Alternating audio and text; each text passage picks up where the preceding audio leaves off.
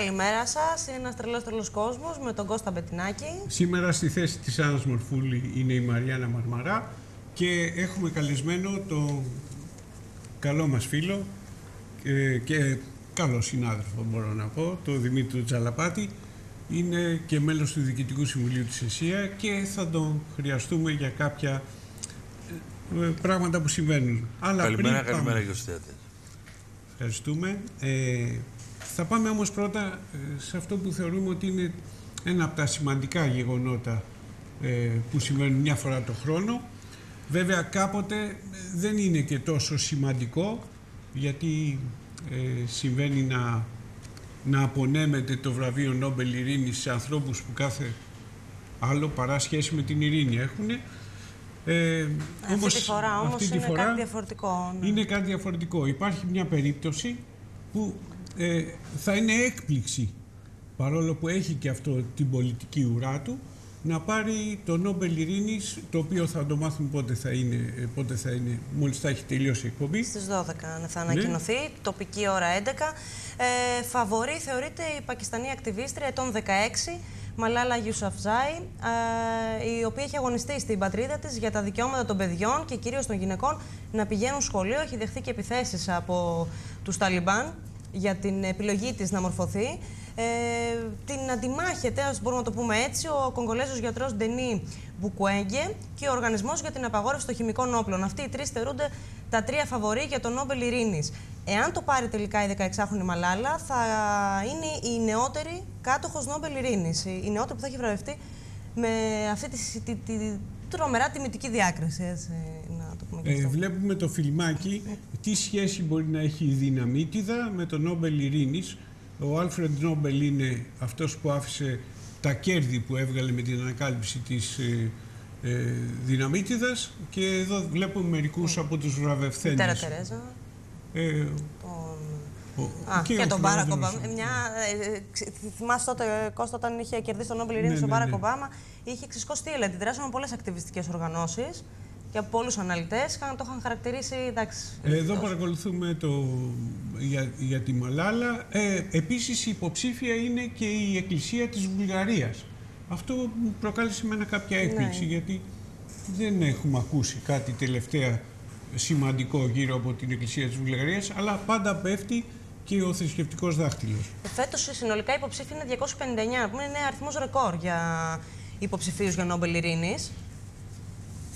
Ε, πάρα πολλοί υποψήφοι. Είπαμε ότι είναι πρόκειται για την εάν βρεθεί τελικά η Μαλάλα, που ίσως λένε ότι τελευταία στιγμή μπορεί να μην είναι η Μαλάλα, να είναι ο οργανισμός για την απαγόρευση των χημικών όπλων. Έχουμε δει όλο το παρασκήνιο που έχει γίνει τις προηγούμενες μέρες ε, με τα χημικά όπλα στη Συρία. Ε, έτσι, ίσως υπάρχει περίπτωση να της δώσουν το βραβείο Ζαχάροφ. Ε, ώστε να Όχι, πήρε το, γραφείο, το... το βραβείο Ζαχάροφ, το έχει πάρει ήδη. Προχθές το απενημήθηκε. Α, α, άρα θεωρούν πολλοί ότι ίσως να το πάρει ο Οργανισμός Χημικών Όπλων για να εξορροπηθεί. Ε... ε και επειδή έχει γίνει και τόσο στόρυβο με, με τα χημικά όπλα και την ιστορία του Άσαντ, εκτός αν τα πάρει, ε, γιατί είναι ε, στα outsider, αλλά εγώ βάζω στοίχημα ότι δεν πρόκειται να του δοθεί, ο πρόεδρος της Ρωσίας, ο Βλαντίμιρ Πούτιν, ναι. ο οποίος έχει σχέση και με αυτή την ιστορία, γιατί είναι αυτός που μεθόδευσε την αποτροπή ενός πολέμου στη Συρία και βρήκε τον τρόπο ε, με την πρόταση που έκανε για τα χημικά όπλα να γίνει αυτή αυτός ο συμβιβασμός, σε πάση περιπτώσει, και να τεθούν υπό διεθνή έλεγχο τέλος πάντων τα χημικά όπλα της Συρίας και να καταστραφούν ε, από επιβλέποντες του ΟΗΕ. Ε, να πούμε ότι η Μαλάλα έχει κάνει και κάποιες δηλώσεις. Ε, μάλιστα, νωρίτερα μεταδόθηκε και μια δήλωσή της ότι θα ήθελε, ονειρεύεται ακόμα και την πρωθυπουργία του Πακιστάν. Ενώ είπε ότι αν κερδίσει το Νόμπελ Ειρήνης θα το θεωρούσε μεγάλη της τιμή, μεγαλύτερη από αυτήν που θα άξιζε η ίδια για τον εαυτό της, που θεωρεί ότι αξίζει η ίδια για τον εαυτό της. Αλλά θα την βοηθούσε πάρα πολύ να ξεκινήσει μια εκστρατεία υπέρ της εκπαίδευσης των ε, κοριτσιών στη χώρα της, που όλοι ξέρουμε ότι αντιμετωπίζουν πάρα πολλά προβλήματα και έχουν τεράστιο ποσοστό αναλφαβητισμού τα κορίτσια στο, στο Πακιστάν. Μια και μιλήσαμε για τα χημικά όπλα και τα λοιπά και μην προχωρήσουμε στο άλλο θέμα, βλέπω τώρα στο BBC ότι, ε, ότι κυκλοφόρησε μια είδηση ότι οι αντάρτες στη Συρία εκτέλεσαν περίπου 190 πολίτες και ε, έχουν συλλάβει περισσότερο από 200 ομήρους ε, κατά τη διάρκεια μιας ε, στρατιωτικής επιχείρησης που έκανα τον Αύγουστο, όπως καταγγέλει η, ανθρωπιστική οργάνωση Human Rights Watch. Να το παρατηρεί των ανθρωπίνων δικαιωμάτων. Αυτά για να τα βλέπουν οι άλλοι που τα έχουν μόνο με τον ε, μονόπλευρα, όλη η Δύση μάλλον, μονόπλευρα με τον κυβερνητικό στρατό και τον πρόεδρο Άσαντ. Όχι ότι είναι άγγελος κι αυτός, αλλά εν πάση περιπτώσει ε, ε, τέτοιες ειδήσεις δεν έχουν κυκλοφορήσει πολλές, ενώ ξέρουμε ότι οι αντάρτες έχουν επιτεθεί και έχουν καταστρέψει και χριστιανικά χωριά, έχουν ε, απαγάγει χριστιανούς ε, ιερείς και διάφορα τέτοια.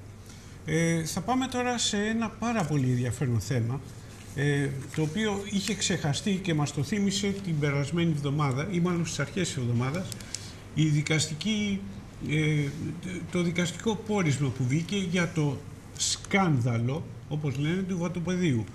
Ε, ο Μάκης Τρανταφυλόπουλος από την εκπομπή του Ζούγκλα το ανέσυρε και με, ε, αναφέρεται σε ίντρικες επαφές τόσο στο προσκήνιο όσο και στο παρασκήνιο για δημοσιογραφικές μεθοδεύσεις και πολιτικές σκοπιμότητες που συνθέτουν το παζλ μιας από τις πλέον πολύχρονες υποθέσεις μίζωνος σημασίας των τελευταίων δεκα, δεκαετιών. Ε, η εκπομπή Ζούγκλα φέρνει ιδέα δεδομένα που θα συζητηθούν. Αποδεικνύεται ότι εν τέλει η κατοχή της λίμνης Βιστονίδας αποδόθηκε από το ελληνικό δημόσιο που την κατήχε μη νομίμως στη Μονή Βατοπεδίου με σύμβαση του 1930 η οποία συνήφθη κάτι εξουσιοδότηση δυνάμει του νομοθετικού διατάγματος 8424.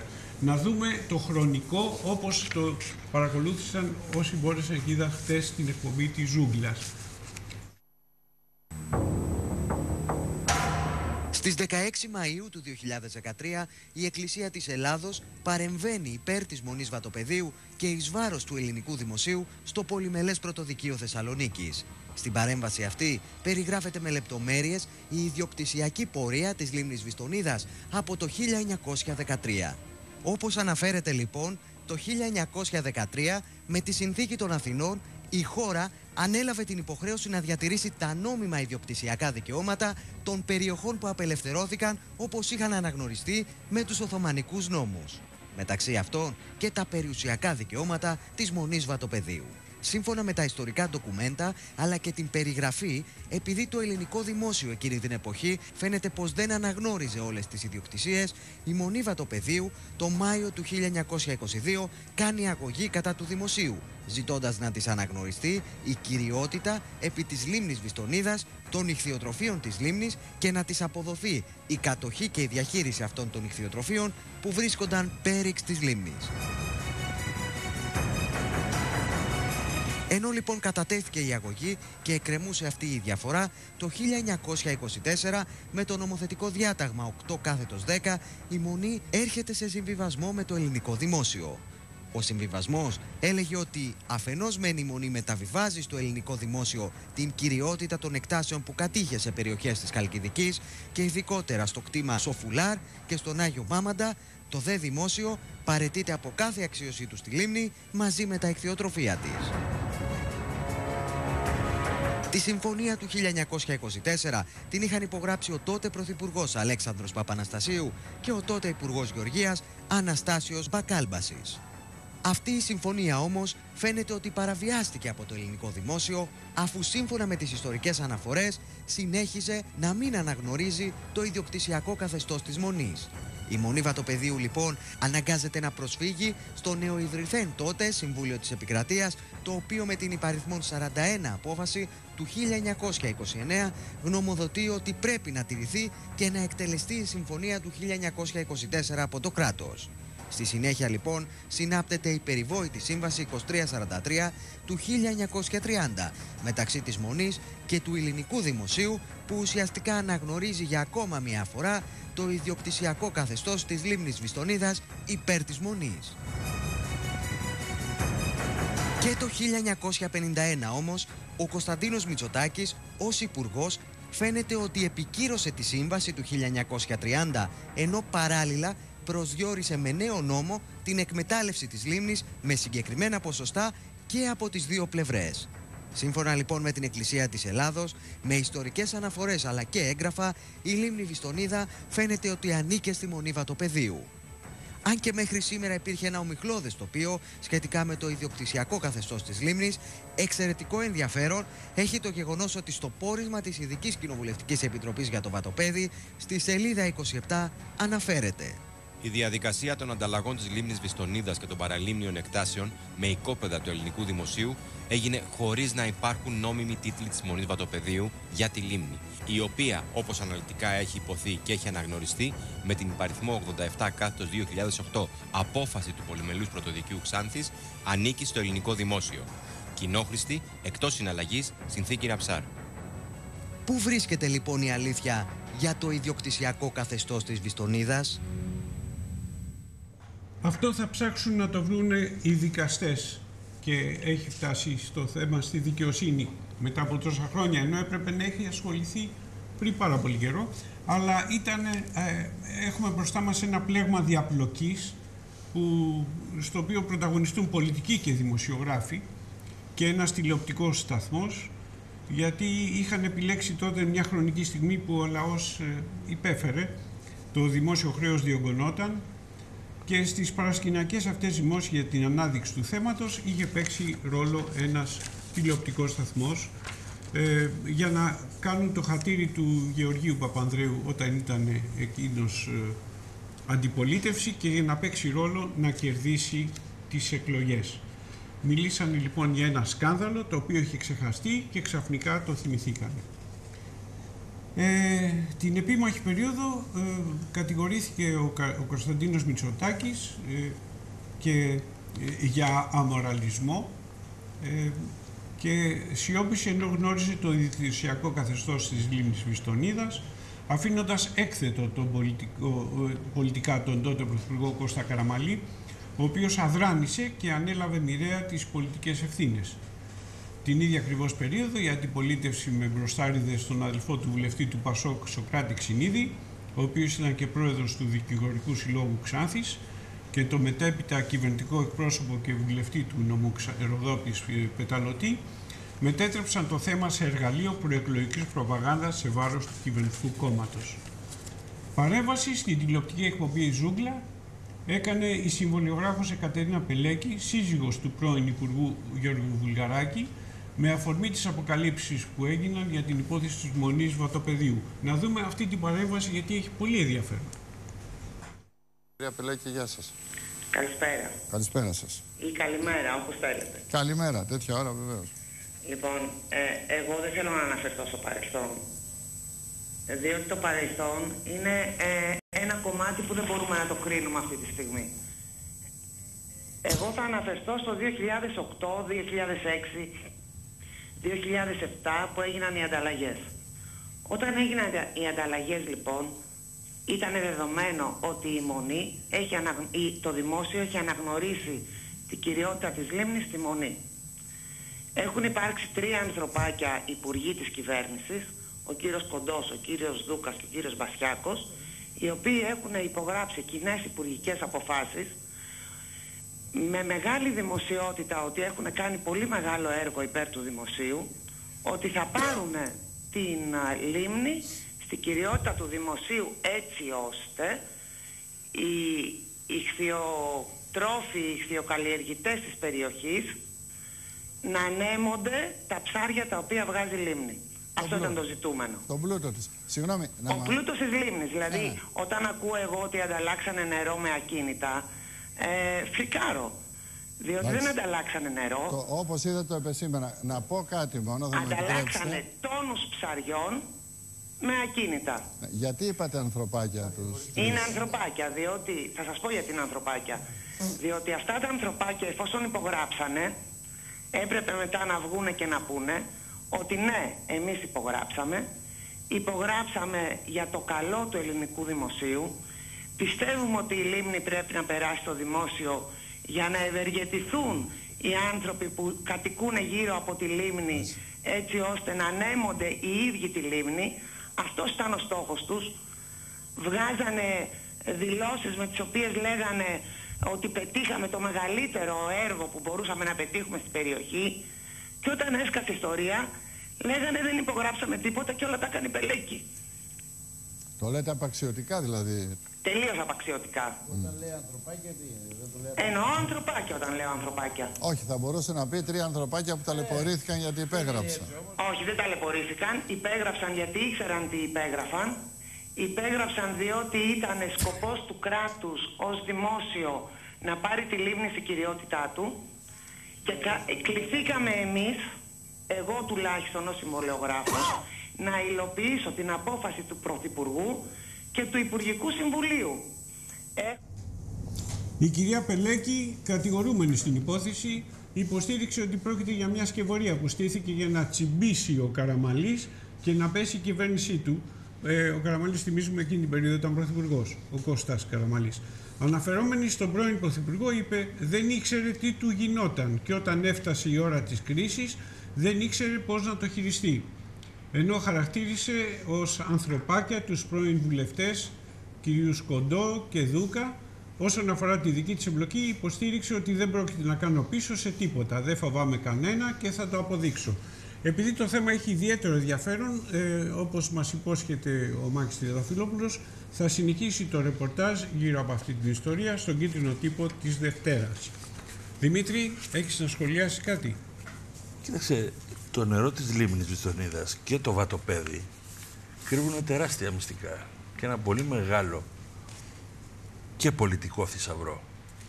Δηλαδή, τι θέλω να πω; Θέλω να πω, εντάξει, η κυρία Πελέκη είπε την, ε, την θέση της, ε, από όλη αυτή την ιστορία, από όλη αυτή τη διαδρομή, αρκετοί επωφελήθηκαν. Και όχι μόνο πολιτικά. Εγώ θέλω να πω μόνο μια λεπτομέρεια.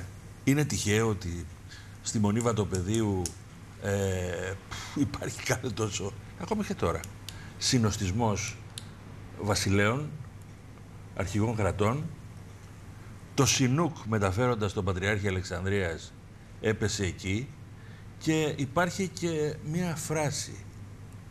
Η SS-300, λέω εγώ ένα ερώτημα, ακαδημαϊκό, ρητορικό έτσι ως αναγνώστης. Τι σχέση έχουν με όλη αυτή την ιστορία; Το τελευταίο που θέλω όμως να πω είναι ε, ότι... Εννοείς η μεταφορά των SS-300 Όχι, δεν λέω ούτε για μεταφορά, λέω για τους SS-300. Ναι, ναι, Τι σχέση η μεταφορά από την Κύπρο στην Κρήτη.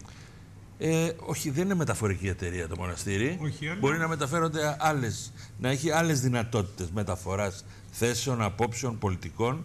Και το τελευταίο που θέλω να πω, ε, δεν ξέρω για ποιο τηλεοπτικό σταθμό πρόκειται, αλλά εγώ έχω να θυμηθώ ότι υπάρχουν εκδοτικοί όμιλοι, τηλεοπτικοί σταθμοί, που στεγάζονται σε μοναστηριακά οικόπεδα. και έχουν χτιστεί. Και, δεν, δεν κάνω χαρακτηρισμό. Και έχουν χτιστεί με τη διαδικασία που έλεγε το ελληνορωμαϊκό δίκαιο. Το ρωμαϊκό δίκαιο, με συγχωρείτε. Δεν είναι ρωμαϊκό. Το ρωμαϊκό δίκαιο. Εξόνηση. Είναι αυτό που λέγανε BOT την περίοδο του κυρίου Μητσοτάκη, ο οποίος και αυτή την περίοδο του βατοπαιδιού θεώρησε ότι η σιωπή είναι χρυσός με την πολιτική έννοια του όρου. Για το βατοπέδι μας είχε μιλήσει και προχτές που είχε έρθει στην εκπομπή ο πρώην Αντιπρόεδρος Βουλής ο Παναγιώτης Οσγουρίδης και μας είχε εκφράσει και εκείνος την άποψή του και οπωσδήποτε θα απασχολήσει και την άλλη εβδομάδα την εκπομπή μετά τις νέες αποκαλύψεις που περιμένουμε όπως το είναι μια πολύ έτσι, ενδιαφέρουσα και σημαντική δημοσιογραφική έρευνα που κάνει ο Μάικη. Ε, Αλλά το... και η δικαιοσύνη νομίζω δεν έχει ολοκληρώσει την έρευνά της. Πιστεύω ότι θα πει την τελευταία λέξη, αλλά περιμένουμε. Ε, τώρα, μια και μιλήσαμε για δικαιοσύνη, θέλω να, ε, να επικοινωνήσουμε. Ε, έχουμε στο τηλέφωνο τον Λάμπρο Παναγιώτου. Καλημέρα, Λάμπρο. Καλημέρα, καλημέρα. Θα μας πεις τα γεγονότα που έγιναν χθες ε, στη Βουλή που έχουν και αυτά σχέση με τη δικαιοσύνη. Ναι. Από χθες τι να ξεκινήσω τα σημερινά φρέσκα κουλούρια που λέω κουλουράς; Άμα έχεις φρέσκα κουλούρια, να σας, Καταρχάς να πούμε για τα. εκεί στη Βιστονίδη, στη Βιστονίδα είναι τα ιερά μυστικά από κάτω. Τι δουλειά είχαν οι παπάδες να πάνε εκεί να, να διώξουν τους ψαράδες; Ένα το κρατούμε. Δεύτερον, ακριβό μου χωραφάκι θα μου κοστίσει ένα εικοσαρικάκι, μας είπε ο, ο Γιάννης Τορνάρας εδώ. Για τον νέο φορά κινήτων λες τώρα, λάμπρωσε. Ναι, τα αγροτεμάχια μας, αυτά που είναι πεταμένα εκεί που όταν ποτίζουμε πληρώνουμε ποτιστικά, αρδευτικά πώς τα λένε και όταν δεν ποτίζουμε πληρώνουμε ξερικά που τα λένε πάνω στο, στην Ήπειρο. Δηλαδή ούτως ή άλλως θα πληρώνουμε, θα τα ξαναπληρώσουμε τώρα με ένα 20 το χρόνο. Από 10 ε- έως 20 ευρώ θα είναι ο φόρος στα αγροτεμάχια. Να τα γράψουμε όλα στη σύζυγο του Γιάννη του Στουρνάρα, στα παιδιά του και στον ίδιο. Να τα έχει εκεί να τα χαίρεται τα χωράφια μας, γιατί είναι χέρτσα παρατημένα εκεί. Εντάξει, δεν είναι μόνο δική του απόφαση, Λάμπρο του Γιάννη πρέπει Στουρνάρα. να, είναι πάλι της, πάλι της Τρόικας. Ε. Πάλι της Τρόικας. Για όλα αυτά ευθύνεται αυτή η Τρόικα. και για το πετρέλαιο θέρμανσης. Η Τρόικα μας λέει ότι δεν μπορούμε να ζητάμε τα παιδιά μας στα σχολεία. Η Τρόικα μας λέει ότι δεν μπορούμε να σταθούμε στο σπίτι μας. Η Τρόικα μας λέει ότι πάνε να πνιγούμε. Ε, δεν πάνε να πνιγούν αυτό που λέει η Τρόικα. Τι κάνονται εκεί ζουνε. Πάνε να πνιγούν. Να ησυχάσουμε εμείς τουλάχιστον. Πρώτον. Δεύτερον, από 10 μέχρι 20 δεν το διευκρίνησε ακριβώς πόσο θα κοστίζει. Εντάξει, δεν είναι μεγάλο το ποσό. Για να λέμε τώρα το στραβό το δίκιο. 20, 10 με 20 ακόμη και στα αγροτεμάχια που είναι μεγάλης έκτασης. Θα δώσει διευκρινήσεις περαιτέρω. Δεν ξέρω αν θα πάει με το στρέμμα. Αφού λέει 10 με 20 θα πάει το κομμάτι. Κοίταξε να σου πω, ε, έχει κάνει ο Μάριος ο Βελέτζας ένα πολύ ωραίο ρεπορτάζ στο, στην ηλεκτρονική μας Το σημείο εφημερίδα. το δικό μου δεν είναι ωραίο. Που, ε, του, ε, του Βελέτζα είναι ακόμη πιο ωραίο. Τι να κάνουμε Ευχαριστώ τώρα. πάρα πολύ. Εσύ Ευχαριστώ είσαι όμορφος αλλού. Αντιπαρέρχομαι, αντιπαρέρχομαι. Λοιπόν, εδώ παρεμβαίνει και το control. ε, Λέει ότι εσύ είσαι ο πιο ωραίος. Λοιπόν, ε, έχει κάποια παραδείγματα για το τι θα πληρώσει ε, ο κάθε κάτοχος. Τέλος πάντων, το μάρμαρο, όπως φαίνεται, θα το πληρώσουν πάλι τα μεσαία στρώματα. ναι. Ε, δίνει κάποια παραδείγματα. Τον Υπάρχει για τα καταχέριασε αγροτεμάχια το που είπες. Τον καταχέριασε ο Κακλαμάνης πρωί-πρωί εδώ. Μ, Του λέει δεν για μπορείς να πες. πιάσει τη φοροδιαφυγή και θα, τη, θα την πληρώσει ο κόσμος. Πάλι, πάλι τα ίδια. Του λέει του Γιάννη Στορνάρα. Βέβαια η δευτερολογία του Νικητά Κακλαμάνη. Συνήθως η δευτερολογία δεν είναι γραμμένη. Απαντάει ο Υπουργός και ανταπαντάει ο, ο Βουλευτής. Ε, ήταν γραμμένη. Τον περίμενε στη γωνία ο Κακλαμάνης. Το έσωρε τα εξαμάξει σήμερα. Μάλιστα παρενέβη και ο Μπούρας για να ε, επικαλείται- επικαλέσει και τον, κα- τον κανονισμό ο Μπούρας υπέρ του Στουρνάρα. Δηλαδή να μην μιλάει πολύ ο Κακλαμάνης, ο Νικήτας. Ο Νικήτας Κακλαμάνης, του ίδιου κόμματος έτσι. Μάλιστα. Είχαμε αυτή την αψημαχία μέσα, καθώς τα στοιχεία Μα καλά έδωσε ο έκανες Γιάννης τη Στουρνάρας διευκρίνηση, γιατί- είναι, έγιναν οι έλεγχοι εμβασμάτων την περίοδο 2002-2011 και από τη διασταύρωση στοιχείων τώρα δώσω και κάποια- μερικά στοιχεία. Θες να θες να συμπληρώσεις κάτι Μαριάννα για να πω εγώ μετά; Γιατί... Όχι, όχι, όχι. όχι. Αυτή τη Ε, μεγάλη δουλειά που έκανε ο καλός συνάδελφος, να κάνω και μια μικρή δουλίτσα τώρα. Έλα, είμαι και... Είμαι και... Θα, το, θα πω στο Βελέτζα ότι τώρα το, θα τον πάρω τηλέφωνο να του πω Λάμπρος αυτά και αυτά να είπε για σένα προχωρήσουμε στον γιατί αέρα. έχουμε και άλλα θέματα, έτσι. Λοιπόν, καλά κύριε Κώστα, εντάξει. Ακίνητα στο Λονδίνο. Αφορά 107 περιπτώσεις, εκ των οποίων επιλέγησαν 84. Βεβαιώθηκαν, λέω, στον Άρης 162.000 ευρώ. Ταχύπλοα σκάφη στην Ολλανδία. Αφορά 136 φορολογούμενους και δόθηκαν 16 εντολές ελέγχου. Βεβαιώθηκαν 8 φορολογικές παραβάσεις, ενώ για 3 δικηγορικά γραφεία ζητήθηκε άρση απορρίτου. Πάμε και στο καυτό θέμα του offshore. Επελέγησαν οι πρώτες 322 εταιρείες για έλεγχο, δόθηκαν εντολές ελέγχου για 163 και για 34 ολοκληρώθηκαν οι έλεγχοι.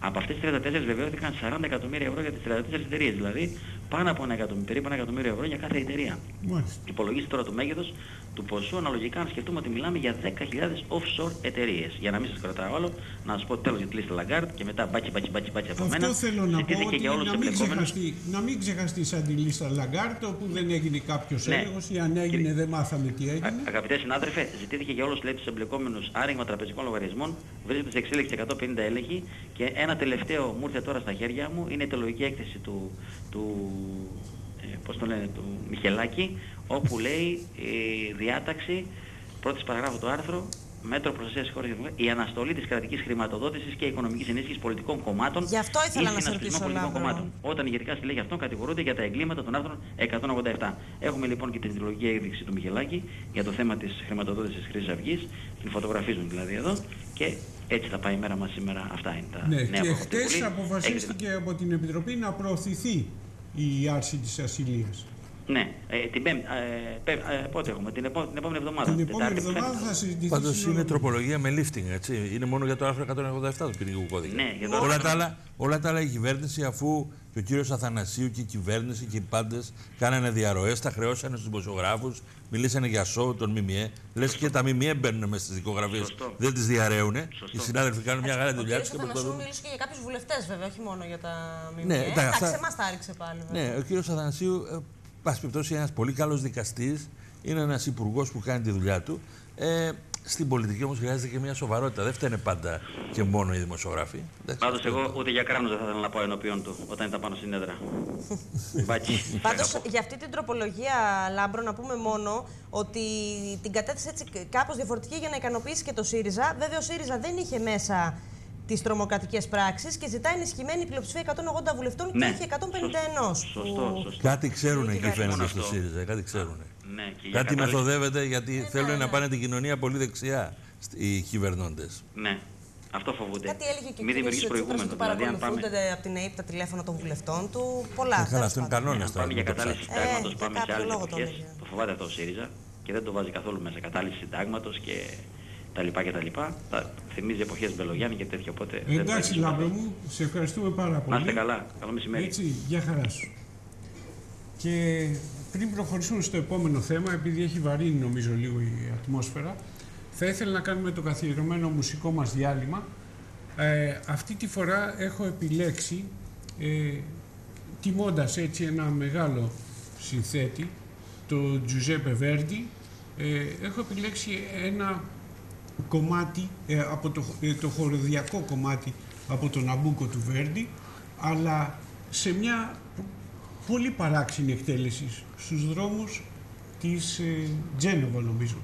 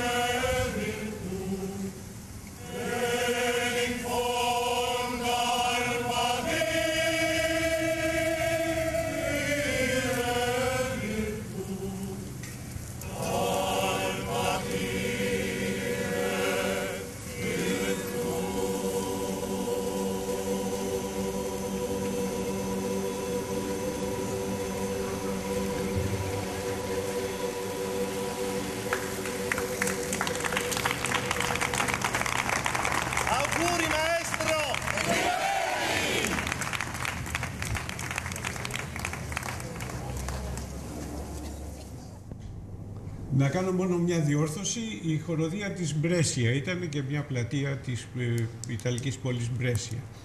Τώρα θα μεταφερθούμε στις Ηνωμένες Πολιτείες, όπου τελειώνει και η δεύτερη εβδομάδα του κλεισίματος των... Έχουν κατεβάσει τα ρολά στις δημόσιες υπηρεσίες. Έγινε μια πρόταση από τους Ρεπουμπλικανούς, δεν τα βρήκε ο δεν, της, δεν συμφωνεί ο Ομπάμα. Να μας πει η Μαριάννα τι έγινε. Ναι, να πούμε ότι δεν είμαι όπως είπες και εσύ Κώστα, τη δεύτερη εβδομάδα του λεγόμενου shutdown, σε άπτα στα ελληνικά. Ε, έχουν κλείσει οι δημόσιες υπηρεσίες της κεντρικής κυβέρνησης. Ε, να τονίσουμε αυτό γιατί στις ΗΠΑ είναι κάπως διαφορετικό το σύστημα σε σχέση με το δικό μας. Ε, υπήρξε μια νέα πρόταση από τους Ρεπουμπλικανούς, μάλιστα και μετά το δεύτερο διάγγελμα, το τηλεοπτικό διάγγελμα του Μπάρακ Ομπάμα την Τρίτη. Είχαν χθες μία συνάντηση και οι δύο πλευρές χαρακτήρισαν τη συνάντηση αυτή επικοδομητική. Να τονίσουμε σε αυτό το σημείο ότι στις 17 Οκτωβρίου, δηλαδή σε 6 μέρες από τώρα, λήγει η προθεσμία της αύξησης του ορίου δανεισμού της χώρας.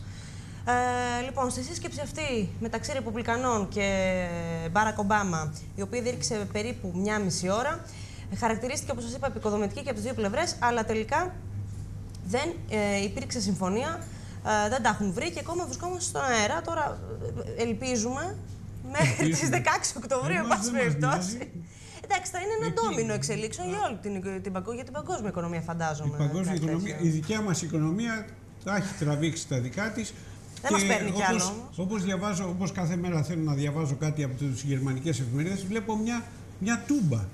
Το γεγονός γράφει ότι η Ελλάδα δεν πετυχαίνει τους στόχους της, μπορεί να προκαλεί την ανησυχία του Διεθνούς Νομισματικού Ταμείου το οποίο ασκεί πιέσεις στην κατεύθυνση της ελάβησης του ελληνικού χρέους, ωστόσο μάλλον δεν δυσαρεστεί τους Ευρωπαίους δανειστές.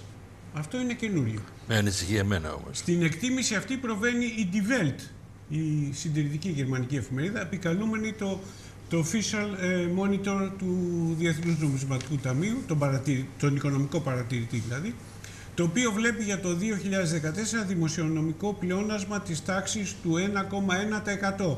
Από 0,6 φτάσαμε, έχουμε να φάμε πλεόνασμα και θα χορτάσουμε. Αντί του αναμενόμενου 1,5%. Ποιοι τα υπολογίσαν αυτά, άλλοι λένε 0 ε, το πλεόνασμα, τέλος πάντων.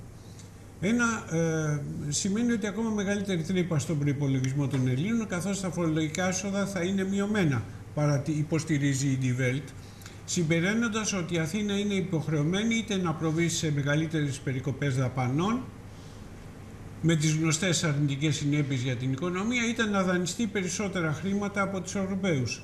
Έτσι θα αυξηθεί ο συνολικός όγκος του χρέους, ο οποίος σε συνάρτηση με το δημοσιονομικό έλλειμμα συνιστά ένα από τα καθοριστικά κριτήρια για τη συνέχιση του, των προγραμμάτων στήριξης της Ελλάδας. Ίσως στα κρυφά οι Ευρωπαίοι να μην είναι τόσο δυσαρεστημένοι από την πρόσφατη μελέτη του Δελτανή Τάφ. Θα μας πεις τι είχε πει η Λαγκάρντ. Ναι, να πούμε ότι χθες προχώρησε σε μια συνέντευξη τύπου η Διευθύντρια του Διεθνούς Νομισματικού Ταμείου, Κριστίν Λαγκάρντ, μετά από αυτά που είχαμε δει, με τις, ε, είχαν διαρρεύσει προχθές στη, στη δημοσιότητα η έκθεση του Διεθνούς Νομισματικού Ταμείου και της Κομισιόν, οι οποίες ούτε λίγο ούτε πολύ μιλούσαν για πρόσθετα μέτρα, για αύξηση του ειδικού φόρου κατανάλωσης, ε, για αύξηση του φόρου ακινήτων, διαμόρφωση, αναδιαμόρφωση του ΦΠΑ κλπ. κλπ. Λοιπόν, χτες η Κριστίν Λαγκάρντ τόνισε ότι είναι πρόωρο να, να μιλήσουμε για αυτή τη στιγμή για νέα μέτρα, ε, όταν δεν έχει ολοκληρωθεί η αξιολόγηση των επιδόσεων της ελληνικής οικονομίας ε, αυτό θα γίνει μετά τις 18 Οκτωβρίου που έρχεται στην ε, Ελλάδα, το, η, ε, έρχονται στην Ελλάδα μάλλον οι επικεφαλείς ε, της Τρόικας, οι κύριοι Τόμσεν, Μαζούχ και Μόρς. Ε, συνέχισε και είπε ότι δεν, μπορεί να, να δεν μπορούμε ακόμα να προδικάσουμε για το αν θα πάρουμε κάποια μέτρα στην Ελλάδα, αλλά τόνισε ότι αυτά τα μέτρα δεν θα έχουν δημοσιονομικό χαρακτήρα. Αυτά εν ολίγης. Ε, θέλω να πω κάτι με την ευκαιρία που έχουμε την κυρία Λαγκάρντ στο Διεθνές Νομισματικό Ταμείο. Τώρα θα έχουμε άλλη μια γυναίκα να κανονίζει την οικονομική μας ζωή, ε, των Αμερικανών καταρχήν, ε, με, την, με το διορισμό της Τζάνετ Γέλεν ε, του, τη, ως Προέδρου, ως αρχηγού ε, της ΦΕΔ, της Ομοσπονδιακής Τράπεζας. Έτσι έχουμε τη Λαγκάρντ από τη μια μεριά, στην, ε, στο Διεθνές Νομισματικό Ταμείο και την ε, ε, κυρία Τζάνετ Γέλεν από την άλλη. Ε, ας ελπίσουμε ότι σαν γυναίκες θα κανονίσουν καλύτερα την οικονομική, θα είναι πιο νοικοκυρεμένο το, το, το, η ιστορία των οικονομικών πραγμάτων για τον κόσμο, όπως ε, ε, είναι νοικοκυρεμένα τα νοικοκυριά μας χάρη στις κυρίες. Ε, τώρα θα περάσουμε σε ένα, ε, με την ευκαιρία που έχουμε τον, τον Δημήτρη Τζαλαπάτη εδώ, θέλω να, να επισημάνω μια ε, ανακοίνωση που έβγαλε... Ε, η... Εγώ να σε διακόψω πριν ναι, ναι. προχωρήσεις. Επειδή υπάρχει αυτή η αλλαγή στην, ε, στη ΦΕΔ, που είναι ιδιωτική τράπεζα, έτσι, μην τρελαθούμε, δεν είναι κρατική, ναι, ε, είναι η κορυφαία τράπεζα ναι, των ΗΠΑ. Ναι, Αυτή κανονίζει. Ναι. Και, και μην νομίζουμε ότι τα πάντα στις ΗΠΑ είναι ιδιωτικά, γιατί απόδειξε ότι την κυρία Τάδε την διόρισε ο πρόεδρος. Την πρότεινε ο πρόεδρος Μπαράκ Ομπάμα. Και, και αυτόν το στηρίξαν ιδιώτες όμως. Ναι, ναι, ναι. Και αυτόν το στηρίξαν ιδιώτες, χορηγούς. Το τραπεζικό κεφάλαιο. Ναι, χορηγούς. Ναι, τι θέλω να πω. Θέλω να πω ότι πριν από το διορισμό της νέας κυρίας ε, της σιδηράς αυτής τη κυρίας, όπως εγώ τουλάχιστον λέω, και της ανακοινώση της κυρίας Λαγκάρντ, υπάρχει το, το ζήτημα ότι η αναγνώριση των λαθών που έχει κάνει το IMF, δηλαδή το Διεθνές Νομισματικό Ταμείο, όχι μόνο με τον πολλαπλασιαστή που βγήκε πριν από καιρό Μπλασάρ, αλλά για όλα αυτά τα οποία συμβαίνουν, ε, ότι το μείγμα της πολιτικής που μετά το Καστελόριζο, που τους διευκόλυνε βέβαια το Καστελόριζο του κ. Παπανδρέου, να εφαρμόσουν και εκείνη και η Ευρωπαϊκή Τράπεζα και η, ε, ε, πώς το λένε, και η Ευρωπαϊκή Ένωση, η Κομισιόν στην Ελλάδα, ε, είχε σαν αποτέλεσμα όλη αυτή την εξέλιξη, το λένε καθαρά πλέον τα στοιχεία τους, παρόλα αυτά επιμένουν στο ίδιο μείγμα πολιτικής που δεν αλλάζει και τώρα αυτές οι δύο κυρίες στο τιμόνι θα συνεχίσουν. Δηλαδή, τρεις... είμαστε, σε ένα, είμαστε, είμαστε σε ένα γυναικείο τρίγωνο ε, αυτό δεν είναι αντιφημενιστικό, είναι μια πραγματικότητα. Στην Ευρώπη η κυρία Μέρκελ, η οποία επικράτησε μετά τις εκλογές, η κυρία που μπήκε στη ΦΕΔ και η κυρία Λαγκάρτη, η οποία Γαλλίδα δεν είναι Αμερικάνα, αλλά εν πάση περιπτώσει ακριβώς το παιχνίδι των Αμερικανών, το παιχνίδι των Αμερικανών παίζει. Ε, μέσα σε αυτό το τρίγωνο λοιπόν είναι, συνθλίβεται η ζωή μας και θα συνεχίσει να συνθλίβεται. Δηλαδή εγώ δεν είμαι καθόλου αισιόδοξος. Εντάξει, να είναι καθαρό. Η κυρία Γέλαν πάντως μοιάζει λίγο στην κυρία Μέρκελ. Στο τούτο είναι λίγο. Καλά. Μοιάζουν έτσι. ναι, μπορεί πολιτικά να διαφέρουν λίγο, αλλά για μας είναι το ίδιο. Δεν νομίζω ότι διαφέρουν πολιτικά. Αλλά Εντάξει, ναι, ναι, θα το δείξουμε η ιστορία. Ε, θέλω λοιπόν να ξαναγυρίσω. Διάβαζα ε, στην ανακοίνωση που έβγαλε σήμερα η ΕΣΥΑ για τις απολύσεις και τις περικοπές που επιβάλλει ο Δημοσιογραφικός Οργανισμός Λαμπράκη στους εργαζόμενους ότι δεν διασφαλίζουν Δεν νομίζω να έχει βγάλει εσύ, ο κύριο Τσιχάρης δεν έχει βγάλει. Ε, εγώ διαβάζω αυτή την ανακοίνωση, να μην τη διαβάσω τώρα γιατί είναι τρεις σελίδες. Κυριολεκτό, δεν είναι αστείο αυτό. Ε, και νομίζω ότι είναι, ε, πρώτη φορά διαβάζω τον επικίδιο των δημοσιογράφων του οργανισμού Λαμπράκη από την ΕΣΥΑ. Ε, έτσι ας με πάνε και στο πειθαρχικό, έτσι το κρίνω εγώ αυτό και Κοίτα, ε, αναρωτιέμαι. Δεν πέφτεις έξω καθόλου. Και αφήστε τα πειθαρχικά τώρα. Εδώ καθένας λέει ελεύθερα τη γνώμη του. Ναι, δεν θα ναι, πειθαρχικοποιήσουμε την ελευθερία της έκφρασης για όνομα του Θεού και της Παναγίας. Και οι συνάδελφοι στα πειθαρχικά κάνουν ένα διακριτό ρόλο, αλλά για τη δεοντολογία. Εδώ μπορούμε να κρίνουμε και κείμενα και ενέργειες και πράξεις και δράσεις και διαδρομές. Άλλωστε και ο κύριος Ψυχάρη ακόμα μέλος της ΕΣΥΑ είναι. Έτσι. Μπορεί να είναι συνταξιούχος της ΕΣΥΑ, είναι εκδότης άνθρωπος, είναι μέλος της ΕΣΥΑ. Λοιπόν, υπάρχει ένα θέμα. Ε, αυτή η ανακοίνωση βγήκε από την πλειοψηφία των έξι συναδέλφων οι οποίοι αυτή τη στιγμή έχουν συγκροτήσει το Προεδρείο στην Ένωση Συντακτών Ημερησίου Εφημερίδων Αθηνών. Είναι μια ακόμη μορφή ε, της θέσης τους και επειδή κανείς από τους υπόλοιπους δεν συμφώνησε, αυτή η ανακοίνωση βγήκε όπως βγήκε, έχει αναρτηθεί από χθες στο site και εγώ δεν έκανα σχήμα λόγο όταν λέω ότι την έγραψε ο κ. Ψυχάρης, διότι στην ουσία, στην ουσία καταπίνει τις 40, τις μετρήσω, 48 και 18 και αυτές που έρχονται μέχρι τέλος Νοεμβρίου ε, πωλήσεις στο ΔΟΛ, κάνει το κορόιδο για αυτά που γίνονται στον τηλεοπτικό σταθμό που λέγαμε πριν και για το Βατοπέδι. Στο όμιλο του κυρίου Μπόμπολα γίνεται μία κόλαση και συνεχίζεται και παντού οι απολύσεις πέφτουν σαν το χαλάζι. Δεν υπάρχουν συλλογικές συμβάσεις, δεν γίνεται τίποτα. Η ενημέρωση είναι απολύτως χειρογωγήσιμο είδο και αυτή τη στιγμή έχουμε φτάσει στο σημείο, όπως μου λέγανε οι συνάδελφοι προχτές, τον Δόλ να το διοικεί ένας γκαλερίστας. Έχει γίνει από δημοσιογραφικό συγκρότημα πινακοθήκη με τραγικές εικόνες που συμπίπτει με την ε, εκδήλωση που κάνανε για τον αείμνηστο Λέοντα Καραπανιώτη που και εσύ και εγώ ε, έτυχε να το είναι διευθυντής, δεν έχει καμία σχέση με τη σημερινή εικόνα.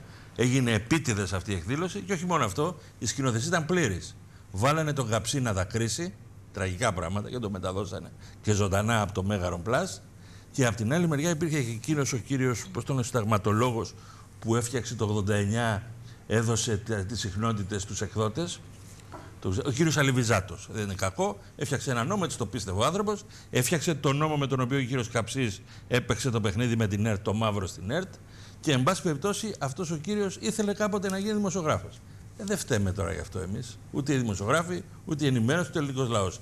Γιατί τα λέω αυτά; Τα λέω γιατί όλα αυτά είναι ένα πακέτο. Και επειδή είπες προηγουμένως για επικίδιο, είναι η κατάλληλη περίοδος να συμβαίνει αυτό, διότι στην Ασία είναι δυστυχώς ε, και επιρροή εκκλησιαστική στο Προεδρείο, που από αυτά ξέρουν μια χαρά. Ε, μια και αναφέρθηκε στη δημόσια τηλεόραση και στο κύριο Καψί, ε, θέλω να θυμίσω ότι δεν είναι ακόμα ασφαλισμένοι αυτοί οι δημοσιογράφοι που... Εδώ έχει παιχθεί μια απάτη, Κώστα. Έχει παιχθεί μια απάτη. Εχθές είχε έρθει η πρόεδρος του ΕΤΑΠ μια διορισμένη από την κυβέρνηση, όπως πάντα η κυβέρνηση διορίζει τα νομικά πρόσωπα δημοσίου δικαίου. Είναι προς ψόγωνο ότι διορίστηκε η, η συνάδελφος συγκεκριμένη. Απλώς παίζει ένα ρόλο κι αυτή. Λοιπόν, στις καταιγιστικές ερωτήσεις που τα μέλη του Διοικητικού Συμβουλίου που ήταν στην ε, ε, σύσκεψη αυτή και έκαναν, ε, χωρίς να το θέλει. Ε, τι χωρίς να το θέλει. Παραδέχτηκε, είπε την αλήθεια η γυναίκα. Δεν μπορούσε να πει ψέματα άλλωστε. Δεν αντε... Τα ψέματα έχουν κοντά ποδάρια. Ο κύριος Καψής και ο κύριος Βρούτσης έχουν βγει και έχουν πει και κοροϊδεύουν δυστυχώς τους συναδέλφους στη δημόσια τηλεόραση ότι τους έχουν ασφαλίσει. Οι συνάδελφοι πήγαν εκεί γιατί έπρεπε να πάνε, κάπου έπρεπε να δουλέψουν, κάπου έπρεπε να ασφαλιστούν. Κάποιοι είναι και κοντά στη σύνταξη. Τι να κάνουν. Λοιπόν, πήγαν εκεί να δουλέψουν. Ο καθένας ψάχνει για μια δουλειά αυτή τη στιγμή, έτσι όπως έχουν κατάσταση τα πράγματα. Υπάρχει λοιπόν ένα θέμα. Οι συνάδελφοι έχουν δίμηνες συμβάσεις εποχικών. Δηλαδή κάτι σαν δασοπυροσβέστε. Είναι ο ίδιο νόμος που διορίζει και ο Κούβελας. Λοιπόν, τους δασοπυροσβέστε για τις φωτιές στα δάση το καλοκαίρι όταν είχε την αρμοδιότητα του Υπουργείου Γεωργίας. Λοιπόν, αυτή η διαδικασία δεν νομιμοποιείται για να ασφαλιστούν στο Δημοσιογραφικό Ταμείο. Δεδομένου ότι τα εκαθαριστικά που δώσαν στους συναδέλφους λένε ότι γίνανε κρατήσεις για τα δημοσιογραφικά ταμεία, αλλά η κυρία Αντωνοπούλου μας είπε χθες ότι αυτές θα κατατεθούν στο ταμείο, εάν κατατεθούν, εγώ δεν το ξέρω, μετά από τρεις μήνες. Πώς γίνεται αυτό όμως όταν οι συμβάσεις τους είναι δίμηνες και λίγουν; Και δεν υπάρχει καμία ρύθμιση αυτή τη στιγμή τουλάχιστον για το μέλλον τους. Λοιπόν, γιατί τα λέω αυτά; Θέλουν τους συναδέλφους ομήρους την ενημέρωση χειραγωγήσιμη και βεβαίως όλα αυτά, επειδή είναι θέμα δημοκρατίας, είναι θέμα δημοκρατίας, είναι τραγικό να στείνονται οπερέτες στο Μέγαρο Πλάς και επιπλέον υπάρχει και κάτι άλλο. Το χειρότερο. Αυτή τη στιγμή που μιλάμε, η Γενική Διευθύντρια της CBU, πάλι με, προ... με πρόσκληση της κυβέρνησης, ήρθαν να αβαντάρουν η διοίκηση της CBU, από τους δανειστές βέβαια βαλμένοι, δεν μπορώ να φανταστώ τίποτα άλλο, ήρθαν να αβαντάρουν αυτή τη στιγμή την κυβέρνηση ότι έχει δημόσια τηλεόραση και ε, κάνανε και μια, ένα συνέδριο που πάλι ο κύριος Καψής μίλησε. Τι αρχιτεκτονήματα είναι αυτά, τι, ε, κατασκευάσματα. Θέλω να θυμίσω ότι η, η παράταξη η συνδικαλιστικής στην οποία ανήκει στην ΕΣΥΑ έχει προσφύγει στην EBU για το θέμα. Ναι, αυτής τη στιγμή γίνεται μια συνάντηση μελών του Διοικητικού Συμβουλίου της ΕΣΥΑ με την κυρία. Δεν θυμάμαι το όνομα, ούτε θέλω να τη θυμάμαι. Ε, μου είναι αδιάφορη. Εν θεσμικά μιλάω για την κυρία. Είναι η Γενική Διευθύντρια. Το όνομά της δεν έχει καμία σημασία ε, στο Intercontinental γίνεται μια συνάντηση. Θα πάνε μέλη του Διοικητικού Συμβουλίου. Ελπίζω να πούν σε αυτή την κυρία πώς είναι δυνατόν ε, το European Broadcasting System αυτή τη στιγμή μπορεί να εγγυηθεί στη διεθνή κοινή γνώμη ότι την περίοδο από 1η Πρώτη του 2014 η δημόσια τηλεόραση αυτή η κατασκευή που εκπέμπει δίπλα και κάτω από το γραφείο του κυρίου Καψής, μέσα στην κυβέρνηση, μέσα στη Γενική Γραμματεία Ενημέρωσης, μπορεί αυτή τη στιγμή να καλύψει τα πάντα στην Προεδρία με το προσωπικό που έχει, με τον κόσμο που έχει, με τους συναδέλφους της ΕΡΤ να επιμένουν στην Αγία Παρασκευή για τη δουλειά τους και για την ενημέρωση και εκεί, στο όνομα του Προέδρου της Δημοκρατίας και στο όνομα του κυρίου Σαμαρά η Γενική Γραμματής της, ε, που είναι δίπλα στον κύριο Καψί να αναθέτουν εργολαβία σε ιδιώτες. Αυτά όλα είναι ένα πράγμα. Ήθελα να ρωτήσω, ο κύριος Λαρακιτζής του έχει απεριόριστη εκτίμηση. Αυτά δεν τα έχει πληροφορηθεί. Μήπως πρέπει να τα πείτε κάποια στιγμή. με Εγώ μια να του τα πω, καταγγελία. αλλά υπάρχει Με μια διοίκηση στην καταγγελία. ΕΣΥΑ και υπάρχει και ένα θέμα. Υπάρχει ένα προεδρείο που πρέπει να κάνει τη δουλειά του. Δημήτρη, σε ευχαριστούμε για την ενημέρωση. Πριν κλείσουμε την εκπομπή, να πούμε ότι έχουμε την είδηση που περιμέναμε. Για το ποιος πήρε τον, πήρε τον Νόμπελ Ειρήνης, τελικά ε, Δεν υπήρξε έκπληξη. δεν υπήρξε έκπληξη. Όντως, το κέρδισε ο Οργανισμός για την Απαγόρευση των Χημικών Όπλων. Ε, μόλις πριν από δύο λεπτά ανακοινώθηκε. Ε, έτσι μείναμε με τη χαρά ότι η Μαλάλα ενδεχομένως να κέρδιζε. Ε, έχει κερδίσει τη ζωή της βέβαια γιατί είχε φάει σφαίρα στο κεφάλι, μην το ξεχνάμε αυτό. Ε, έχει κερδίσει και το βραβείο Ζαχάροφ. Ε, με αυτή την είδηση θα κλείσουμε και το σημερινό τρελό τρελό κόσμο. Ε, θέλω να ευχαριστήσω τον Δημήτρη Σαλαπάτη. Ευχαριστώ και εγώ για την πρόσκληση. Ε, να ευχαριστήσω και τη Μαριάννα τη Μαρμαρά και θα τα πούμε αφού περάσουμε ε, όλοι ελπίζω ένα ωραίο Σαββατοκύριακο τη Δευτέρα πάλι. Γεια σας.